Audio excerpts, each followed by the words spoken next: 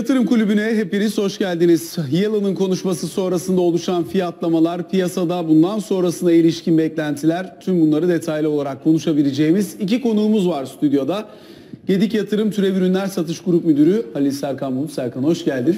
Ve aynı zamanda Venbey Yatırım Portföy Aracılığı Birim Müdürü Yücel Tonguç Erbaş. Tonguç sen de hoş geldin. Hoş bulduk. Şimdi piyasa oldukça hareketli. Yalın'ın açıklamaları gerçekten piyasalarda çok pozitif yansıma buldu. Doların zayıflaması net bir şekilde görülüyor. Aynı zamanda doların zayıflamasından pozitif etkilenenler var. Bizim e, dolar TL'de gördüğümüz üzere 2.83-56 seviyesindeyiz şu an itibariyle. Bir düne döneceğiz. Janet Yellen neler söylemiş onu hatırlayacağız. Sonra üzerine konuşmaya başlayacağız. Durum böyle. Dolayısıyla Yellen'ın altını çizdiği birkaç önemli nokta var. Hepsinin üstünden hızlı hızlı geçelim ama en önemlilerinden bir tanesi doların güçlenmesine bu kadar kuvvetli vurguyu ilk defa gördük. Doğru mu Serkan? Doğrudur. Ya tabii ihracat tarafındaki e, kalemlere baktığımız zaman dolardaki yukarı yönlü hareketin mutlaka Amerikan ekonomisi için e, sıkıntı yaratacağı ortada ama biraz zamanlama mı acaba manidar diye düşünmekte de fayda var. Çünkü e, 2015 sonundaki yapılan Aralık'taki faiz arttırımında ekonomik e, hem dünya ekonomik gö- göstergeleri hem de doların gücü konusunda daha zayıf bir performans görüyorduk. Yani dolar daha az güçlüydü. Dünya ekonomisinde daha fazla çalkantı vardı. Biz Çin'i çok daha fazla konuşuyorduk. E, Ona rağmen e, güvercin açıklama herhalde Bernanke e, kaçtı e, Yellen'a içine şeklinde çok müşterimden bu şekilde bir e, empati yaptık beraber. Ben zamanlama konusunda Fed'in e, ekonomik görünümün gerisinde kaldığını savunanlar tarafındayım. E, Çünkü burada enflasyonun 2'ye doğru hatta 1.9'a doğru bir gidişi var. Eğer buradaki 1.9'luk enflasyonu görmemize rağmen FED hala Amerika ekonomisinin gerisinde kalırsa bu piyasalar açısından bir balon yaratan unsur olabilir. O yüzden ben birazcık daha dün akşamki açıklamaların e, önümüzdeki günlerde dünya ekonomisinde e, Amerika kaynaklı bir balon etkisi yaratabilir mi? Güvenilirlik azalır mı şeklinde kafamda soru işaretleri olduğunu net bir şekilde söyleyebilirim o anlamda. Sağdaki grafikle devam edelim istersen Tonguç. Çünkü buradaki e, son dönemde son 6-7 gün arka arkaya ciddi şekilde FED başkanlarından, bölgesel başkanlardan gelen açıklamalardan sonra bir yukarı yönlü hareket görmüştük. Kırmızı ile gördüğümüz yalan etkisi.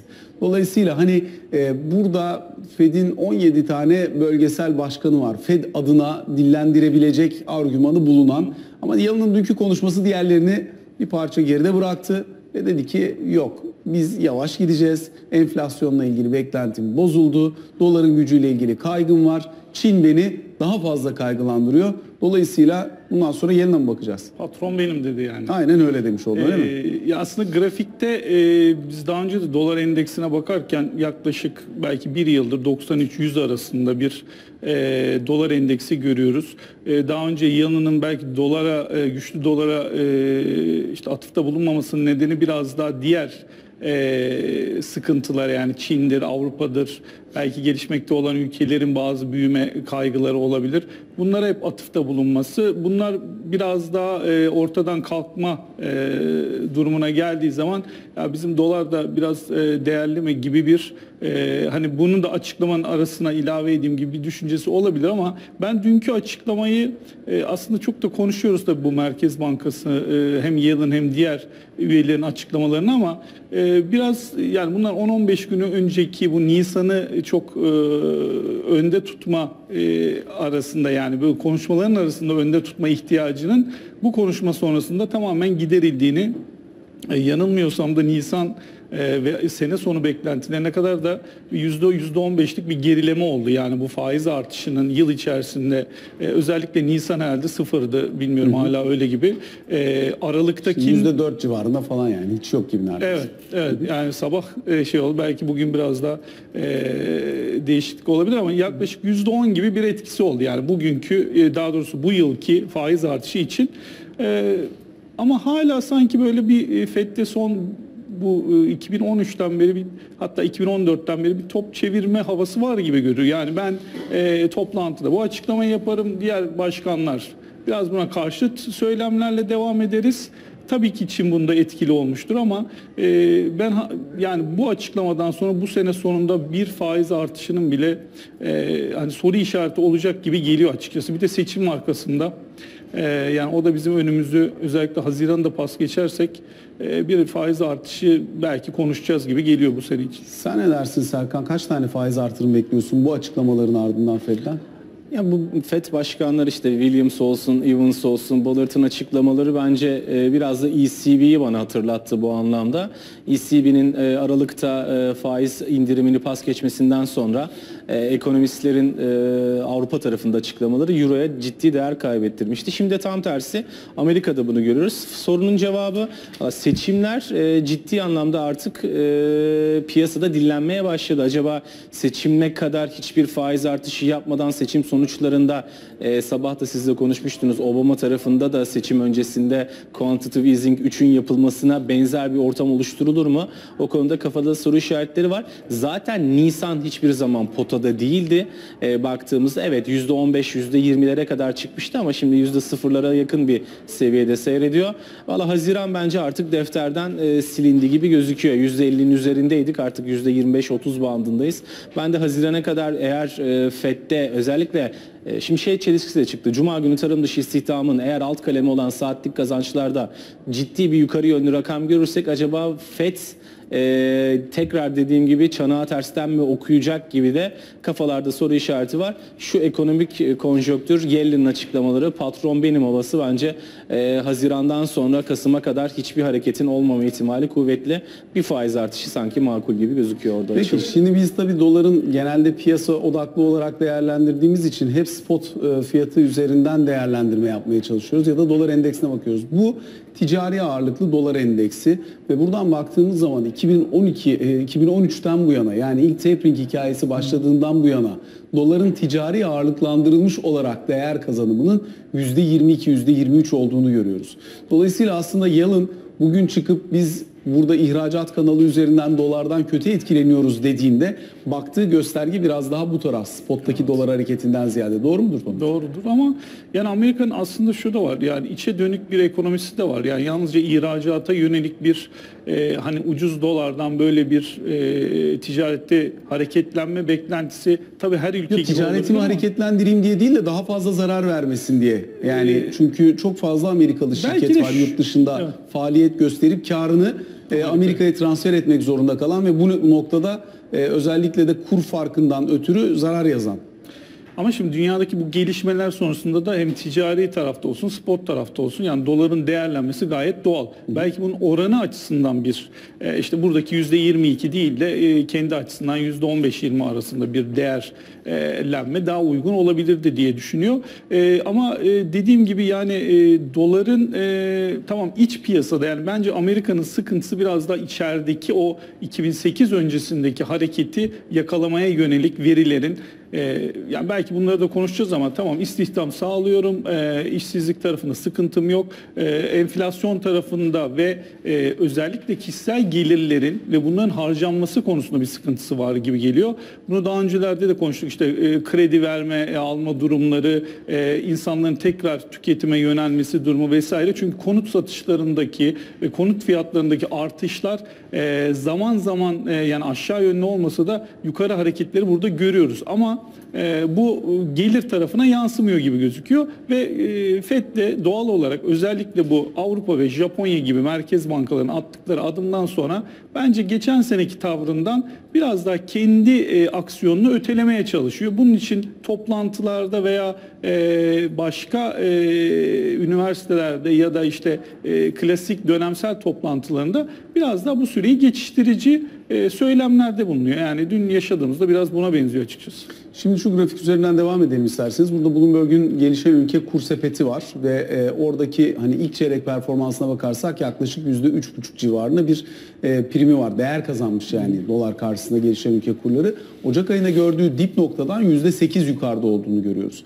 Aynı zamanda ben burada TL bölü dolar diye aldım. Hani dolar TL değil TL dolar aldım ki grafikte biraz daha net olarak ikisi arasındaki e, performansı görebilelim. Orada da %2,5 civarında Türk lirasının dolar karşısında değer kazanımı var. Şimdi böyle baktığında Buradan daha aşağısı için yer var mı Türk lirasında değer kazanımı diye bir sorayım sana. Çünkü geldiğimiz yer önemli. 2.83 neredeyse Kasım seviyelerine geri döndük.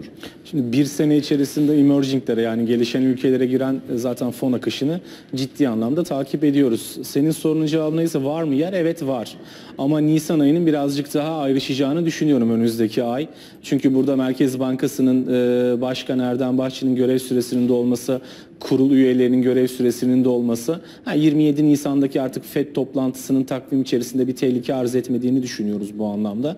E, eğer Merkez Bankası tarafından e, faiz indirimleri artık art, baktığınız zaman da ortamın oluştuğunu görüyoruz. Sembolik olarak bir 25 bas puanlık faiz indirimi üst banttan geldi ama bunun devamını eğer Fed'in bu güvercin tavrı işte G20 zirvesinde biraz şeytan avukatlığını yaptık. Bütün merkez bankalarının bir miktar güvercin açıklama yapma konusunda en azından Haziran sonuna kadar ağız birliği ettiğini görüyoruz. Evet Türk lirası varlıkları için biraz daha aşağıda yer var mı sorusunun cevabı kesinlikle evet olacaktır ama içeride Merkez Bankası başkanlık e, ataması konusunda bir e, sıkıntı olursa bir de artık e, anayasa e, ile ilgili süreç bayağı bir dillenmeye başladı bu anlamda. Oradan gelebilecek bir sürpriz. E, piyasalarda biraz tedirginlik yaratabilir ama genel anlamda bütün emerginglere eğer petrol tarafında çok büyük aşağı yönlü bir sürpriz görmezsek işte 38 doların altında belki 17 Nisan'daki Doha'daki toplantıda çok garip sonuçlar çıkmayacaktır. İran'ı kenarda bırakıyoruz. E, petrol tarafında bir şok yaşamazsak biraz önce saydığım etmenler de sabit kalacak olursa Türk lirası varlıklarında e, bir miktar daha değerlenme ihtimalinin çok kuvvetli olduğunu düşünüyoruz o anlamda. Tonguç sen ne dersin? Özellikle reel efektif, e, e, efektif döviz kuru üzerinden baktığımızda da hani Türk lirası açısından bir miktar daha yer olma potansiyeli var gibi görünüyor. Şu anda 99,5'lardayız. Biz burada daha evvel e, oldukça Türk lirasının e, nispeten daha iyi performans gösterdiği, daha fazla değer kazandığı yerleri gördük. Ne kadar isteriz ayrı bir şey. E, hani ihracat avantajı adına söylüyorum. E, ama hani bu tabloya baktığın zaman daha ne kadar yeri var Türk lirasının değer kazanımı için? Şimdi bir önceki grafikte bu gelişen ülkeler e, içerisinde bizim %1.7-2'lik bir e, yılbaşından beri artışımız ve diğer e, diğer grubun 8'lik %8'lik bir artış içerisinde olmasının nedeni bizim yılbaşında bir değerli TL'miz vardı aslında bu seçim sonrası. Şu grafikten bahsediyorsun. Evet, pozitif havayla birlikte ki orada dikkat edersek belki e, CDS'lere de bakarız 240 seviyelerindeydik 1 Kasım seçimleri sonrası. 270'lere geldik şimdi. Evet geçen hafta yanılmıyorsam yine 248-249'ları bu geçen 84-83 seviyelerine geldiğimizde borsa tarafında. Yani aslında bizim e, o seviyelerde maksimum bir olumlu havamız vardı. Şimdi dolar tarafında dolar TL'yi değerlendirdiğimizde 2.85 bizim e, 200 günlük ortalama açısından e, çok kritik bir seviye. E, onun için de şu an e, Yalın bize bir destek sağlamış oldu açıkçası. Yani ben bunun altının e, Haziran seçimleri daha doğrusu Haziran FED toplantısı ya da Nisan toplantısı biraz daha e, ön planda kalsaydı 2.85'in altını görebileceğimizi çok düşünmüyordum. Ama dün akşamki açıklamadan sonra e, 85'in de kırılmasıyla bence 2.80-82 aralığına gelme ihtimalimiz arttı. 2.80'in altı mümkün görünüyor. 2.86 için e, bizim de hala risklerimiz var. E, onun için bu özellikle içerideki bazı risklerin ne şekilde atlatılacağı konusu e, bence önem kazanacaktır. Ve biliyorsunuz e, yani belli seviyelerde analize baktığımızda hani aşağı yukarı hareketler daha e, sert olabilir. Hani köpük oluşmuştur, hızlı yukarı bir hareket olmuştur, geri dönüşü olabilir. Ama özellikle 2.80 seviyesi psikolojik anlamda da yani ülkenin içeride pozitif anlamda bazı değişimlere sahne olduğunu göstermesi açısından önemli. Onun için biz bu 3'ten 2.83'lere geldiğimiz hızda belki 2.80'in altını görme şansımız olmayabilir. Ee, diye düşünüyorum açıkçası. Sen ne dersin Serkan? 2.82'nin çok önemli bir figür olduğunu düşünüyorum burada. Nasıl Merkez Bankası koridorun üst bandını indirdiği gün bizim 2.88.90'da yine rol değişimi için fırsat gördüğümüz bir seviye vardı dolar Türk lirasında. Teknik anlamda baktığınızda 2.82'nin altı eğer test edilir ve o seviyenin altında kalırsak e, Kasım seçimleri öncesi sonrası gördüğümüz o 2.75'li figürler konuşulabilir ama genel olarak baktığınızda ülke içi risklerin e, bertaraf edilme şansının çok fazla olduğunu düşünmüyorum. 2.82 bence e, tekrardan dolar maliyetlenmek için olumlu bir yer olduğunu düşünüyorum o Tabii anlamda. bu arada yine ortalamalar üzerinden bakacak olursak E, 200 günlük hareketli ortalama 2.89.76 dolayısıyla bunun altına doğru gelmiş durumdayız. Şimdi buradan sonraki aşamada dikkate değer olan unsur 50 günlük ortalamanın 200 günlüğü aşağı yönlü olarak kırma potansiyeli. Bu teknik olarak bakıldığında daha da aşağı potansiyelin kuvvetlenmesi anlamına gelebilir. Az yer var ikisi arasında. Ne, bek- ne dersin bekler misiniz bunun altını? Ee, 50 günlük aşağıda. Bu arada benim ortalama biraz aşağıda mı kalmış? 200 Senin ortalama biraz aşağıda kalmış. 200 günlük. Ee, e, şöyle an söyleyeyim. 2.89.76. e, uzun süredir e, 2.85 bence hala kritik bir seviyeydi. Uzun süredir de biz bunun altında görmedik. Hatta 200 günlüğün altını da biz e, uzun bir süredir e, test etmediğimiz bir dönemdi. E, bence e, yani şöyle söyleyeyim yukarı doğru hareket doların değeri açısından yani bu sene ben doları çok değerli beklemiyorum açıkçası. E, bu açıdan da e, eğer olumlu gelişmeler bizde devam ederse en azından belki 80-85 bandında yani daha önce 85-90 arasında gidip geldiğimiz seviyelerde bir yaza doğru e, bu seviyelerde gidip gelme ihtimali olabilir. Yani kısmen zaman zaman e, 2.80 altını da görebiliriz. Biliyorsunuz seçimden sonra da bir 2.86 test edildi. Burada kalıcı olmak önemli E, ve e, istikrarlı bir şekilde bunun aşağı doğru gelmesi en azından ihracatçıları ne kadar etkiler bilmiyorum ama e, bir pozitif hava algısı içeride yaratacaktır. Bu da önemli diye düşünüyorum. Peki Merkez Bankası'na geçeceğiz ama önce kısa bir araya gideceğiz ondan sonra. Yatırım Kulübü'nün ikinci bölümüyle karşınızdayız. Ali Serkan Bulut ve Tonguç Erbaş'la sohbetimize kaldığımız yerden devam ediyoruz. Bu bölümde biraz daha ağırlıklı olarak Merkez Bankası'na odaklanacağız. Ve burada eğer koşullar daha yumuşak bir fede işaret ediyorsa, risk iştahı küresel olarak bir parça daha artıyor, volatiliteler biraz daha düşüyorsa Merkez Bankası'ndan geçtiğimiz hafta gördüğümüzün daha serti bir adımı bu, bundan sonraki toplantıda görme ihtimali var mıdır? Ne dersiniz Serkan? Ben olduğunu düşünüyorum artık dünden itibaren. E, zaten bir önceki toplantıda 25 bas puanlık faiz indiriminin sembolik olup olmayacağı konusunda bundan sonra gelebilecek en azından FED adımları e, Janet Yellen'ın bu anlamda e, işaret ettiğini görüyorum. Artı biraz önce konuştuğumuz emerginglere olan girişler, e, risk iştahında ciddi e, bir şekilde yukarı yönlü hareket. E, tek buradaki soru işareti olabilecek konu e, şimdi fonlama faizinin 9'un altında olduğunu görüyoruz. Çekirdek taraftaki enflasyonda acaba aşağı yönlü hareket olacak mı? Bunu da Nisan ayının ilk haftasında hani pazartesiye geliyor sanırım yanlış hatırlamıyorsam enflasyon rakamlarında göreceğiz. Eğer proaktif bir merkez bankası görecek olursak proaktiflikten kastım nedir? Çekirdek enflasyonun hem baz etkisiyle hem de önümüzdeki 12 aylık beklentisinin düştüğünü düşünürsek Merkez Bankası'nın bu fırsatı bence e, kaçırmayacağı konusunda artık taşların yavaş yavaş oturduğunu düşünüyorum. Özellikle Move ve VIX'in bir şekilde oyun dışı kaldığını görmüştük e, son açık yaptığı açıklamada. E, Merkez Bankası'nın e, amacının fiyat istikrarı olduğunu ve bunu da enflasyon yoluyla sağladığını düşünürsek ha, dersen Merkez Bankası'nın enflasyon hedeflerinin e, tutma ihtimali hep zayıf kalmış ama bence hem ekonomik küresel konjonktür hem de e, bir anda da başlamış olan sinyal fonlama faizinin aşağı gelmesi şeyleri görmedim 10 yıllık faizleri ama e, tek haneleri aşağı doğru gelmesi bile e, piyasalarda pozitif haberin işaretçisi ben merkezden minimum 25 belki de 50 bas puanlık bir sadeleştirme değil ama yani sadeleştirme derken koridorun alt, alt bandıyla bir simetri yapma değil ama yukarıda en azından e, haftalık repo faiz yani 8.85'lere yakın seviyelere doğru hareketlenecek bir faizin özellikle Efektif 10 fonlama yıl tarafında. efektif fonlamada özellikle 10 yıllıklarında tek hanelere gelmesi Merkez Bankası'nın elini güçlendirebilir. Çok büyük sürpriz olmazsa başkan ataması ya da e, jeopolitik riskler konusunda merkezin biraz daha bu konjöktöre kapılıp faiz indirme konusu bence e, olacaktır gibi gözüküyor Şu açıkçası. anda getiri eğrisinin tamamı %10'un altına kaymış durumda. Yani 2 yıllıktan 10 yıllığa kadar tamamı orada. Şu grafikte zaten e, biraz önce Serkan'ın da bahsettiği işte hem VIX endeksi Amerika'daki hisse senedi oynaklığını hem MOV endeksi tahvil oynaklığını ölçen endeksler. Bu ikisinde de e, aşağı yönlü ivme var. Şimdi yukarı dönen taraf MOV endeksinde e, hareketliliğin arttığını gösteriyor ama bu aynı zamanda faizin aşağı gelmesinden kaynaklanıyor yani FED sonrasında. Onu da belki altını çizmek lazım. Ne dersin ne kadar bekliyorsun e, faiz konusunda bir adım gelirse? Şimdi ben özellikle 20 Nisan sonrası e, biraz daha aktif bir merkez bankası olacağını düşünüyorum. Her kim olursa Merkez Bankası Başkanı veya üyeleri.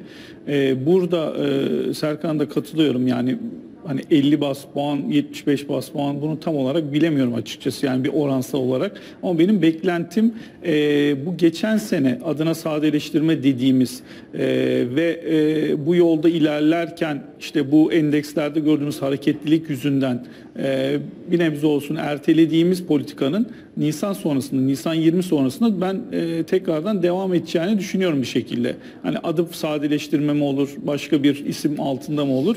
E, bu bazda da e, özellikle e, bu senenin dediğim gibi doların biraz daha zayıf kalacağını düşündüğüm için e, özellikle önümüzdeki 8-9 ay içerisinde e, bu faizleri biraz daha aşağı doğru çekmek için bir e, zamanımız olacak. Ama içerideki e, bazı e, beklentileri çok hızlı bir şekilde halletmemiz lazım. Yani bu turizm tarafını, bir e, anayasa tarafını, seçim referandum vesaire bir şey olacak mı? Hani bu bu tip riskleri bertaraf edersek elimiz daha çok e, kuvvetlenir ve bu faiz tarafındaki yapmak istediğimiz hareketi özellikle TL'nin de belki bir nebze değerli kalmasıyla birlikte e, yapma şansımız olacaktır düşünüyorum ama buna 50 bas puan demekse hani e, şey olarak ilk etapta 25'ten sonra e, bana da mantıklı geliyor açıkçası. Peki şimdi biraz içeriği biraz dışarıyı konuştuk. Şimdi somut olarak isterseniz biraz daha e, çapraz kurlar üzerinden beklentileri değerlendirmeye almaları e, almaya çalışalım. Şu anda baktığımızda özellikle euro, euro dolar tarafındaki hareketin e, bir miktar daha kuvvetlendiğini görüyoruz ki 1.13.30'lara kadar gelmiş durumdayız. Nereye kadar devam etmesini bekliyorsun euro dolardaki hareketin Serkan? Neredeyse e, 16 Mart'taki FED toplantısı e, güvercin ilk açıklamalardan sonra geldiğimiz seviyelere geçmiş durumdayız şu anda. Hatta o seviyeleri test ediyoruz şu anda. Aşağıda teknik olarak 1.10.50 seviyesi görülmediği sürece ve altında bir kapanış yapılmadığı sürece euro dolarda e, hani aşağı yönlü satış baskısının e, artacağını düşünmüyorum. Burada altın figür 1.10.50 teknik seviyesi. E, yukarıda da e, tabii şimdi bu euronun e, işine gelmeyecek seviyelere doğru yavaş yavaş gelmeye başladık. E, buradaki kaynaklı euronun güçlülüğünden değil. Orada biliyoruz ki e, tamam faiz indirimlerinin sonuna gelindi ancak quantitative easing ve ekstra e, LTRO'ların önünün açık olduğunu düşünüyoruz. Enflasyon tarafında bir dezenflasyon süreci mevcut. O yüzden ben euro dolarda evet kısa vadeli biraz daha yukarı yönlü hareketler teknik olarak vermek gerekirse eğer 13.75 seviyesi yukarı yönlü kırılırsa 14.65 ve 15 bölgesine doğru yukarı yönlü hareketler gelebilecektir ama ben çok kalıcı olacağını düşünmüyorum euro dolar tarafında. Kısa vadede ama yatırımcılarımızın dikkat etmesi gereken konu 10.50 seviyesinin altına sarkmadığı sürece short yönde pozisyon açılması konusunda temkinli olmaları ve stop koymaları gerekiyor. Yukarıda da biraz daha yolumuz var ama öyle 17-18 seviyelerine doğru hareketlerin ben birazcık e, uç olacağını düşünüyorum o anlamda. Tonguç sen ne dersin?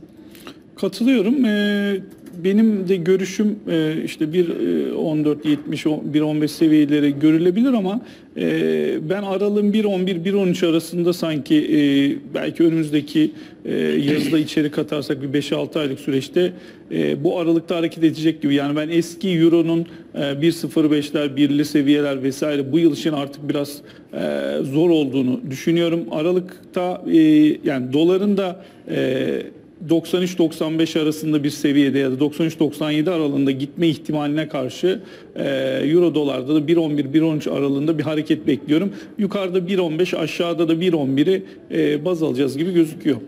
Peki bunun yanında tabii önemli olan unsurlardan biri şu. Yellen daha fazla güçlenen bir dolar istemediğine dair iradeyi ortaya koyarken öbür tarafıyla da diğer merkez bankalarının ne yapacağı sorusu geliyor aklı. Çünkü onlar kurlarını zayıflatmaya çalışıyorlar ve o doğrudan doların değeri üzerinde etki yaratıyor ister istemez. Dolayısıyla şimdi 1.13.20'lere gelmiş bir 30'lara gelmiş bir euro dolar, 112'lere gelmiş bir Japon yeni bu ülke merkez bankalarının da ya da bu bölge merkez bankalarının da sabrını test ediyor. Kesinlikle. Ama atacakları kurşun var mı daha fazla?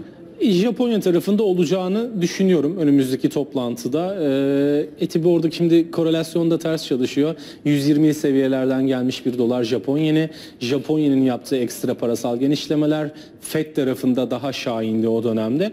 Ben merkez bankaları içerisinde e, en yakın argümanı parasal genişleme yönünde yapacak Merkez Bankası'nın Japonya Merkez Bankası olacağını düşünüyorum ama tabii bu da Japonya'nın değer kaybedeceği anlamına gelmiyor. Özellikle Yellen Havalimanı'nın bu kadar güvercin açıklamalarından sonra güvenli liman algısının biraz daha yen tarafına kaydığını görüyoruz ama sorunun cevabı yakın dönemde ne Çin e, ne İngiltere Merkez Bankası ne Avrupa tabii Fed'i ayrı tutuyorum orada. En yakın Merkez Bankası'nın Japonya olduğunu düşünüyorum. Oradan bir parasal genişleme programı ekstra açıklanabilir. Ama bu yendeki güvenli talebi ortaya çıkartacak anlamına tabii ki zayıflaması gerekiyor ama 114 seviyesi bir türlü geçilemiyor dolar Japon yeninde. Bu seviyenin üzerine atmadığımız sürece parasal genişleme dahi gelse yukarı yönlü hareketlerin dolar Japon yeni paritesinde satış fırsatı olarak değerlendirilmesinde fayda var diye düşünüyorum. Artı aşağı bölgede 110 seviyesi gözüküyor. Tabii bu seviyenin altını konuşmak şimdilik anlamsız. Aşağıda çok derin bir boşluk var ama 114 seviyesi geçilmediği sürece dolar Japon yeninde yukarı yönlü hareketler bir miktar piyasalarda satış fırsatı olarak değerlendiriliyor açıkçası. Tonguç sen ne dersin yer için özellikle çünkü e, orada evet bir miktar daha hamle yapma imkanı söz konusu olabilir ama Zor ya. bundan da ısrarla kaçınan bir e, Merkez Bankası var. Japonya'nın işi zor. Onu söyleyeyim. Yani bugün sanayi üretimi geldi yanılmıyorsam. Evet. Ee, geçen hafta e, olabilir perakende satışlar. Yani birçok adım atıyor. Uzun bir dönem içerisinde de bir büyüme enflasyon yaratmaya çalışıyor. Belki bunu kendi parası e, parasal değerinin e, de zayıflatarak da ister istemez oluyor bu gerçekleşmeye çalışıyor ama yani istenilen adımların daha doğrusu istenilen verilerin ben geldiğini düşünmüyorum. E, bu anlamda da yani sonsuza kadar bu politikayla devam etmesi e, Japonya'yı nereye kadar götürür bilmiyorum. E, fakat teknik olarak e, en son Merkez Bankası'nın yaptığı adımdan sonra yine bir e, yende zayıflama e, değerinde beklenmesine karşın şu an 113'lü seviyeler, e, onun altında 110 seviyesi ve bayağı bir süredir de yani 114-115'leri geçemediğimiz için 110-115 arasında bir aralıkta yende de seyredeceğini düşünüyorum. Burada kalırsa çok sorun yok da daha aşağı giderse sorun olacak galiba. Yani aslında yani diyelim ki e, zayıfladı biraz daha yani. Yani 120'ye gitti. Bu kendi ülkesinin verileri açısından da daha önce de 120 seviyelerdeyken Zaten grafik çok net gösteriyor yani 125 121 benim e, o anlamda doların zayıflığından bahsediyorum. Yani değer kazanmaya devam ederse hani 110'un altına Adım sarkar atar mı? 105'lere doğru giderse e, o zaman yapılacak bir şeyin e, ne kadar etkisi olur tartalım. İşte şunu demek istiyorum yani daha önce yaptığı adımlarda e, bir etki görmedik. Yani biraz daha farklı bir politika izlemesi lazım gibi geliyor bana Japonya tarafının. E, tamam oldu da diyelim ki e, 110'un da altına geldi. Atacağı adımlarda tekrar bizi taşıyacağı yer 110-113 gibi geliyor ama şu an e, politikaları açısından e, ortaya çıkacak e, yen fiyatlamasının e, Japonya Merkez Bankası da şunu görüyordur. Ya benim attığım adımlar artık e, istediğim kadar e, nasıl hani biz Amerika'da FED tarafında birinci, ikinci parasal, üçüncü parasal genişlemelerin e, etkisinin daha da azaldığını söylüyorsak bu her ülke için geçerli. Japonya'da bunun yaşadığını düşünüyorum. Çok kısa bir e, euro tarafında da e, evet euro tarafı da benzer adımlar atıyor ama kendi parası değerleniyor. Bu da tabii ki onun daha fazla e, adım atmasına ya da farklı politika uygulamasına neden olacaktır. Burada biraz tabii G20 vesaire hep konuşuluyor. E, biz arkadaşlar arasında da konuşuyoruz ama e, Biz or- ben şimdiye kadar oradan bir şey çıktığını hiç görmedim. yok şu açıdan Yani piyasa diyorum. fiyatı Yani bir- etkileyecek bir şey G20 toplantısından yani 50 toplantıda bir falan çıkıyor ancak. Ya zaten öyle bir toplantıya da hani e, bu böyle bir karar almak için gerek olmayabilir. Herkesin artık e, telefonu var vesaire var. İstediği zaman birbirleriyle görüşebiliyorlar ama e, sanki şöyle bir algı oldu. Yani artık merkez bankaları hani gelin beraber hareket edelim. İşte durumumuz budur. Ben sizi e, adımlarınız sonrasında Amerika için konuşuyorum. Biraz daha bekleyecek gibi bir tavrı var açıkçası. E, bunun da onun için yen tarafında 100-113 işte euro dolar tarafında 1.11-1.13 gibi hep böyle bir bant aralığında bir hareket beklentimiz var e, diye düşünüyorum açıkçası. Şimdi arkadaşlar altyazıyla aktarıyorlar. Gelişen ülke kurları yükselişte ringit ve rant %1,5 diye. Ranttaki değer kazancı %2'ye ulaştı şu an itibariyle. Keza yine bakıyorum Endonezya rupisinde %1'in üzerine prim dikkat çekiyor. Hemen hemen tüm gelişen ülke para birimlerine ve mesela JP Morgan'ın EMFX yani gelişen ülkeler sepetinde de e, ortalamasında %0.5 civarında bir e, artı dikkat çekiyor. Tüm bunlar hani bundan sonraki sürece ilişkin bu pozitif algının, pozitif dalganın nereye kadar gidebileceğine dair bir sinyal veriyor bize. Bunun yanına ek olarak koyabileceğim şey bu arada Brezilya reali ekranda yeşil görünüyor. Şu anda işlem dönmediği için dün akşamki fiyatlaması o. E, dolayısıyla fark ondan kaynaklanıyor. Ama diğer taraftan da şunu söyleyelim. E, burada eğer bir parça daha eli rahatladıysa piyasaların emtia cephesi için bir parça daha toparlama beklenebilir mi? Mesela petrole bakıyoruz. Petrol 4 gün üst üste değer e, kaybetti e, ve bayağı da ciddi %5 civarında bir realizasyon oldu. Dibinden %50 gitmiş %5 realizasyon çok mu görüyorsun diyenler için bugün yeniden yönünü yukarı çevirmiş durumda ama ikisi de 40 doların altında hem Brent hem Amerikan tipi ham petrol. Mesela piyasa üzerinde bir ayrışma dönemi söz konusu olabilir mi bundan sonrası için? Yani gelişen piyasalar içerisinde çok iyi ayrışanlar biraz daha geride kalarak e, pozitif performans gösterenler gibi. Tabii ki petrol ihracatçısı ülkeler açısından dediğin bence çok doğru olacaktır. Özellikle e, Rusya, e, Rus rublesiyle Brezilya tarafında realin tabii Brezilya tarafındaki siyasi sıkıntıların da çözüleceğine dair umutlu adımlar var. E, eğer petrol fiyatlarında, e, bugünkü hareketi bence çok petrol tarafında kuvvetli hareketi biraz doların zayıflığına bağlamakta fayda var. E, çünkü son dün Amerika'dan gelen e, stoklarda ciddi anlamda yine e, arzın bu anlamda artış gösterebileceğini konuşuluyor. 17 Nisan'daki Doha'daki toplantıdaki ülkelerin toplam e, arz yani üretim açısından baktığınızda %75'lere yakın bir e, potansiyeli olduğunu düşünüyoruz. Oradan çıkabilecek bir üretim dondurma ya da arz kaynaklı bir e, kısıntı küresel ekonomilerde en azından talep yetersizliğini biraz daha aşağı çekecek konuda bir hareket sağlayabilir ama ben e, petroldeki hareketin hani işte bir tarafta 30 dolar beklentisi var, bir tarafta 50 dolar beklentisi var. E, ben 35 doların üzerinde 45 doların altında bir petrol fiyatlamasının önümüzdeki belki bir sene boyunca kalıcı bir şekilde kalacağını düşünüyorum. Çünkü Amerika tarafı biraz da durgunluğa mı işaret ediliyor diye kafalarda soru işareti yaratıyor açılı anlamda. Tonguç çok kısaca senin de petrol yorumunu alayım tamamlayalım. Ben petrolde bir kere bu 17 Nisan'a kadar e, 38-42 arasında hem Brent'te e, yani bununla çok az üstünde altında hareketler olabilir. E, Bu aralıkta gidecek gibi gözüküyor. Özellikle Brent tarafında 45-46 doların üstü için e, oradan çıkacak karara bakacağız. Daha sonrasında tabii ki e, global e, büyüme rakamları bizim için önemli olacaktır.